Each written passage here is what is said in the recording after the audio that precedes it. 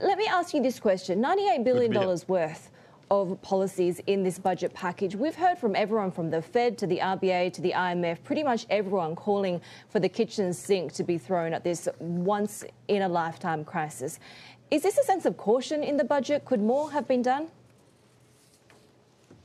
Uh, we, we, are doing as much as we think is required, clearly. And I mean, we're providing very substantial, in fact, historically unprecedented uh, fiscal support into the economy, supporting businesses, uh, supporting jobs, supporting those Australians uh, who lost uh, their job as a result of this COVID recession through no fault of their own. And indeed, now to support uh, the strongest possible economic and jobs recovery. I mean, we presented last night our plan to get Australia out of this COVID recession and to get Australians back into work. So one of the problems, of course, these tax cuts are one of the centrepieces of the budget. They've been moved forward, but the criticism overwhelmingly is that they address these middle to high income earners. We know that's not where the spending is going to be. So should it have been more targeted towards the other part of the demographic and would, say, a temporary halt to the GST have been more effective in getting domestic consumption up? Well, uh, firstly, uh, you know, they do not uh, favor uh, middle and high income earners. I mean, they're very much targeted at low and middle income earners. And our expectation certainly is uh, that that segment of the population uh, will spend most of that additional money in their pockets and that it will boost, it will help boost aggregate demand across the economy. But it is only one of a whole series of measures. I mean, one of our biggest fiscal support measures is giving the opportunity on a time limited basis to the end of June 2020 2022 uh, for uh, businesses to fully deduct uh, the uh, cost of uh, any uh, investment they make to invest in their future growth and success by making it a time-limited opportunity for any business with a turnover of up to $5 billion. It provides the encouragement for businesses to make that decision to invest now rather than to invest later. And, and we do know, of course, that a growing business that is investing in their future will hire more Australians again, and that is what the objective is of the exercise. There's also criticism that perhaps this is just a mix of old ideas, just tax cuts, wage subsidies, business tax breaks, at a time when the economy was slowing even before the pandemic. So, how does this budget address those issues? Well, our economy was in very good shape before this uh, pandemic. I mean, our economy continued to grow uh, at a time when uh, economies in other parts of the world were struggling.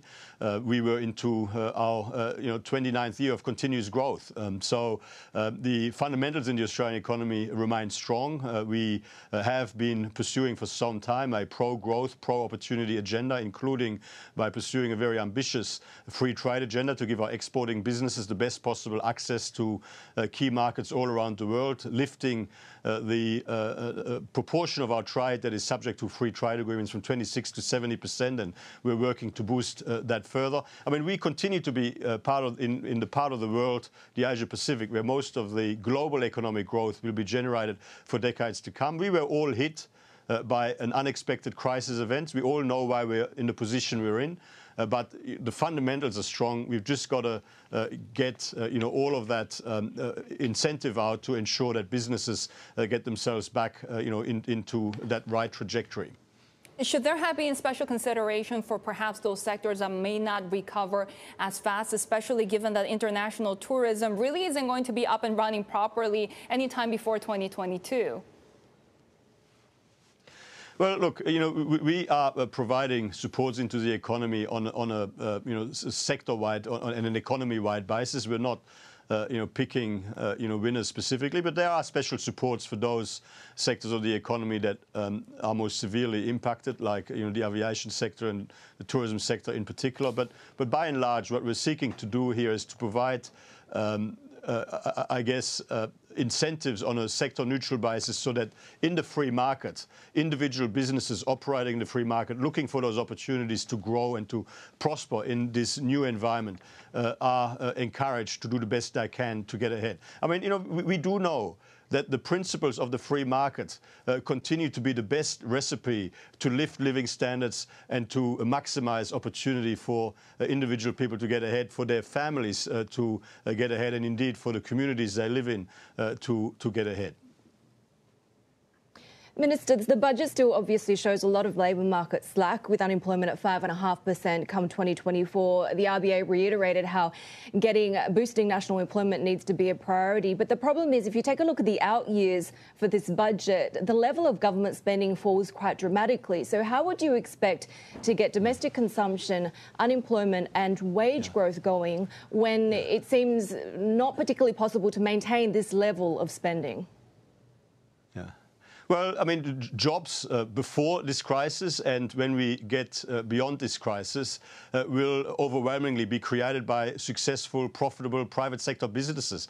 I mean, before we went into this crisis, nine out of 10 uh, jobs in the Australian economy uh, were uh, created by private sector businesses. And I mean, that is a situation where we need to get back to. I mean, we can't maintain a situation where government and, and taxpayers continue to spend at this crisis level. I mean, we were very focused on providing significant support, but making sure that that support uh, was uh, temporary, uh, was targeted, and didn't bake in structural burdens into the budget bottom line. And, and, and I mean, that is an important feature of making sure that we're in the best possible position to deal with any future economic shocks that might come our way. I mean, you know, in the end, um, it's businesses private sector businesses that have to lead Australia out of this out of out of this COVID recession, and that have to create the jobs that our economy needs uh, to get ourselves back in the strongest possible position moving forward given how there seems to be a little bit of, of caution in the budget, according to people who have looked through uh, the numbers, is this a subtle way of pushing the burden on the RBA, which of course has held yesterday, trying to give as much uh, space for fiscal policy? Is this a way to asking the RBA to do more? Well, I got to say, like, I, I, don't know where you see caution when we are increasing uh, spending uh, this financial year by a historically unprecedented 22.6% above inflation, uh, and when we uh, are, uh, you know, uh, going along with a, a, deficit this financial year of 11% as a share of GDP, which in an Australian context is, um, you know, was completely unthinkable prior to this crisis. So, I mean, we, we are doing what we need to do within reason to provide all of the necessary and appropriate fiscal support into the economy. Uh, the RBA will make its judgments uh, independently, as they must, uh, you know, in terms of what the appropriate monetary policy settings are going to be. That is, that is a matter for them. But we, we have made the judgments that we believe are right for this time to guide Australia out of this uh, uh, COVID recession as swiftly as possible into the strongest possible uh, recovery moving forward.